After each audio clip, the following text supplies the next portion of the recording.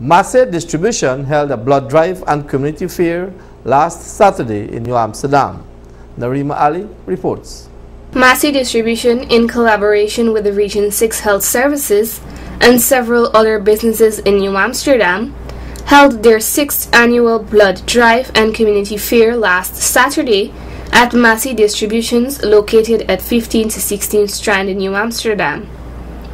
The branch coordinator attached to the New Amsterdam branch, Ms. Valini Ramatar, in a brief interview with Channel 8 News, shared some of the services that were offered to the public. We normally have an annual blood drive. This is actually the sixth year that we've been hosting it. Um, this year we decided to add uh, another aspect to it, which is the health fair, the community health, fair.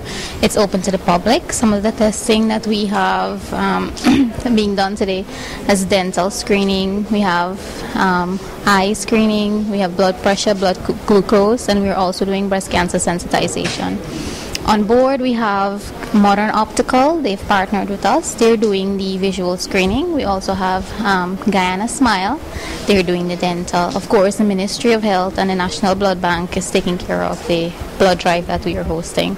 When asked about the public's participation, Ms. Ramatar said, The turnout, well, it's been pretty good so far. Um, we're tracking our units. We, we're hoping to come in with 50 in commemoration of our 50th anniversary, Massy's 50th anniversary in Guyana. Um, so we're still moving along, hoping by the end of the day we'll get our 50.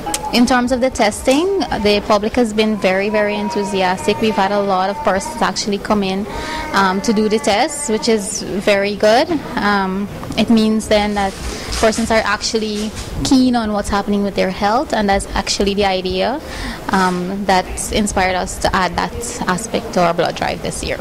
Apart from the blood glucose and pressure testing that were carried out, persons were also advised by the medical practitioners on what to do if their results were above or below its normal range. This annual initiative is one that has tremendously benefited the community in the past years and will continue to benefit persons in the years to come.